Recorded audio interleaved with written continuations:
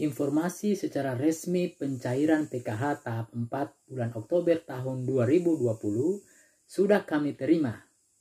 Nah, informasi ini adalah informasi resmi dan bukan informasi kaleng-kaleng dan informasi ini melalui surat dari Kementerian Sosial bahkan sudah ada lengkap dengan eh, tanggal jadwal penyaluran PKH tahap 4. Mau tahu tanggal kepastiannya? Simak terus informasi ini sampai tuntas agar tidak gagal paham.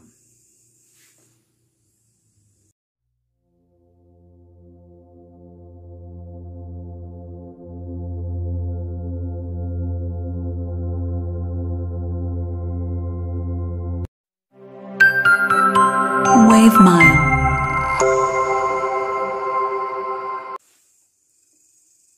Assalamualaikum warahmatullahi wabarakatuh. Salam sejahtera, shalom, dan Om Swastiastu. Halo, apa kabar? Tentunya kabar yang sangat luar biasa ya. Dan kami doakan semoga kawan-kawan masih tetap sehat ya, diberikan kesehatan dan umur yang panjang. Hari ini saya akan memberikan informasi seputar bantuan sosial tentang pencairan PKH tahap 4 ya di bulan Oktober tahun 2020. Namun sebelumnya saya meminta kawan-kawan terus mendukung channel Budi Sometimes dengan cara like, share dan di komen dan juga jangan lupa untuk di subscribe dan selalu untuk menyalakan tombol loncengnya sehingga kawan-kawan bisa mendapatkan informasi terbaru dari channel Budi Times. Nah, namun sebelumnya kawan-kawan eh, pada video sebelumnya saya sudah menginformasikan terkait eh, pencairan PKH di bulan Oktober. Nah, pada video sebelumnya ini saya ingin mengklarifikasi bahwa ada beberapa eh, kawan-kawan bertanya terkait uh, video sebelumnya yang katanya cair bulan Desember. Nah, yang penting untuk diklarifikasi adalah bahwa pada judul yang ditertera di video sebelumnya itu eh, kawan-kawan harus lebih teliti untuk melihat tanda baca karena di sana kami memberi judul PKH bulan Oktober sudah cair di bulan Desember, tapi harus dilihat bahwa di sana ada tanda tanya yang artinya itu adalah sebuah pertanyaan dan bukan pernyataan. Sehingga pada saat di awal sudah dilakukan uh, uh, pertanyaan itu. Nah, pertanyaan itu adalah muncul dari KPM-KPM yang selalu bertanya apakah benar e, pencairan bulan Oktober itu akan terjadi di bulan Desember. Nah, itu yang penting saya klarifikasi. Jadi buat kawan-kawan, ketika melihat apalagi yang mode gratis, ketika melihat judul di YouTube, jangan langsung menyimpulkan. Jadi harus teliti untuk melihat apakah ada tanda baca atau tanda seru. Karena ada dua makna yang berbeda, bisa pernyataan, itu juga bisa pertanyaan. Nah, itu yang paling penting. Makanya harus tetap simak videonya sampai habis sehingga kawan-kawan bisa menyerap informasi ini dengan baik dan benar. Nah, saya lanjutkan informasinya ya. Sudah ada surat resmi terkait eh, pencairan PKH tahap tahap 4 di bulan Oktober. Nah, di sini sudah kami terima informasi resminya ya dari Kementerian Sosial Republik Indonesia Direktorat Jenderal Perlindungan dan Jaminan Sosial Direktorat Jaminan Sosial Keluarga yang tertanggal pada 20 Oktober. Nah, saya kira ini baru kemarin ya, masih baru ya, masih panas suratnya. Dan saya akan informasikan di sini ada uh, empat item yang penting untuk eh, kawan-kawan uh, KPN ketahui begitu ya.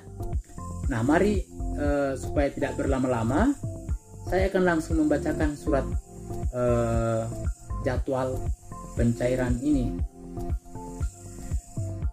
Nah, surat ini sudah saya sampaikan tadi masuk tanggal eh, 20 Oktober ya. Bernomor 1862 garis miring 3.4 garis miring BS titik 01 titik 01 garing 10 garing 2020 ya. Dan ini sifatnya segera ya. Dan perihalnya adalah tentang edaran penyaluran bansos PKH tahap 4 dan akhir tahun 2020 yang artinya di tahun 2020 ini merupakan penyaluran yang paling akhir. Nah, di sini ditujukan kepada kepala dinas sosial provinsi di seluruh Indonesia. Berbunyi demikian. Sehubungan pencairan dana bansos PKH pada tahap 4 Oktober 2020, kami sampaikan hal-hal sebagai berikut. Yang pertama, penyaluran bantuan sosial PKH yang semula disalurkan per bulan menjadi disalurkan per tribulan. KPM PKH akan menerima bantuan sekaligus di bulan Oktober untuk periode bulan Oktober, November, dan Desember. Nah, artinya sudah benar pada video sebelumnya juga sudah kami sampaikan bahwa pencairan akan kembali normal per triwulan ya. Di sini dalam surat ini juga sudah ditegaskan kembali bahwa benar di bulan Oktober langsung tiga bulan. Selanjutnya yang poin kedua, terdapat penambahan kategori pada komponen kesehatan yang semula ibu hamil dan anak usia dini menjadi ditambah keluarga pasien tuberkulosis ya sebagaimana SK Dirjen yang terlampir. Nah, dalam video sebelum-sebelumnya saya juga sudah pernah memberikan informasi terkait komponen tambahan. Di sini ditegaskan kembali terkait komponen itu. Dia masuk pada komponen kesehatan yaitu penderita e, tuberkulosis atau TBC. Jadi pada e, bulan ini sudah masuk untuk komponen Eh, tuberkulosis atau penderita TBC. Selanjutnya poin ketiga, ini yang paling penting. Bantuan tahap 4 akan dicairkan serentak pada tanggal 24 Oktober 2020. Selanjutnya, KPM dapat mencairkan bantuan di tempat-tempat yang telah ditetapkan selambat-lambatnya 15 November 2020. Nah, saya ulangi lagi ya, supaya kawan-kawan bisa jelas menerima informasi ini. Bantuan tahap 4 akan dicarikan serentak pada tanggal 24 Oktober 2020. Selanjutnya, KPM dapat mencairkan bantuan di tempat-tempat yang telah ditetapkan. Ya, misalnya kayak di ATM, di bank bisa, dan di agen briling juga boleh. Ya, selambat-lambatnya tanggal 15 November. Jadi jangan melakukan pencairan di atas tanggal 15, harus di bawah tanggal 15 November. Nah, selanjutnya poin yang keempat, berkaitan dengan hal tersebut, kami memohon kepada Kepala Dinas Sosial Provinsi untuk meneruskan data penyaluran tahap 4 kepada Dinas Sosial Kabupaten Kota di wilayah masing-masing Nah, di sini disampaikan memerintahkan KPM PKH melalui pendamping agar bantuan segera dimanfaatkan paling lambat tanggal 15 November 2020. Nah, ini penting ya. Jadi eh, KPM itu ketika pencairan jangan sampai lewat tanggal 15 November ya.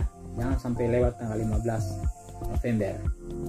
Nah, di sini kemudian dilanjutkan lagi menginformasikan kepada KPM apabila tidak melakukan transaksi tiga kali berturut-turut, maka KKS akan diblokir pada tanggal 25 Desember 2020. Nah, sebaiknya KPM harus segera lakukan transaksi ya. Karena kalau tidak melakukan transaksi, maka resikonya KKS mereka itu akan diblokir pada tanggal 25 Desember. Nah, saya kira sudah sangat jelas ya untuk eh, ibu-ibu KPM yang saat ini galau ya. Tanggal kepastian pencairan tahap 4 sudah ada informasinya ya. Informasi ini sangat-sangat resmi ya, bukan hoax. Jadi sekali lagi tanggal 24 Oktober 2020 pencairan PKH tahap 4 ya. Itu secara serentak. Dasar informasinya adalah surat Kementerian Sosial. Nah, bagi ibu-ibu KPM yang mungkin akan melakukan pencairan, jangan lupa untuk tetap menggunakan protokol kesehatan ya dengan eh, jaga jarak, pakai masker dan cuci tangan. Juga dihimbau bagi ibu-ibu KPM ketika pencairan kartunya harap digunakan sendiri ya, dipegang sendiri dan disimpan eh, sendiri ya. Tidak boleh orang lain yang eh, pegang kartunya karena tidak ada alasan apa pun atau ada aturan yang mengharuskan kartu PKH-nya dipegang oleh orang lain, baik itu ketua kelompok, pendamping maupun pihak agen. Saya kira ini informasi terkait pencairan tahap 4 di bulan Oktober 2020. Semoga informasi ini bermanfaat. Terima kasih. Salam PKH.